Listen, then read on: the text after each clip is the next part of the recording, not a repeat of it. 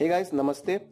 This is Sarvesh Darak from Tech Connection and today in this video I will show you how to play basketball game with your friends on Facebook Messenger. So you just need to go to Play Store and update your Messenger app and because it's the new update which is there uh, by which you can play the basketball game you just need to go to Play Store and update it. I've already done that.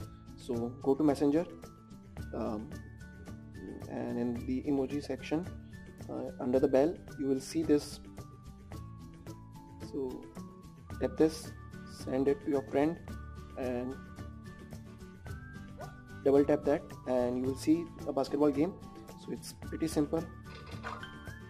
So, like this you can play the game. Uh, till 10 score uh, till you score 10 uh, the board would be static but after once you score 10 uh, it will start moving and the ball position will also change. So it's pretty simple easy fun to play. So that's it for this video. I hope you like this one and if you did do hit the like button. And for more such videos do subscribe to my channel. This is sarvesh darak signing off from tech connection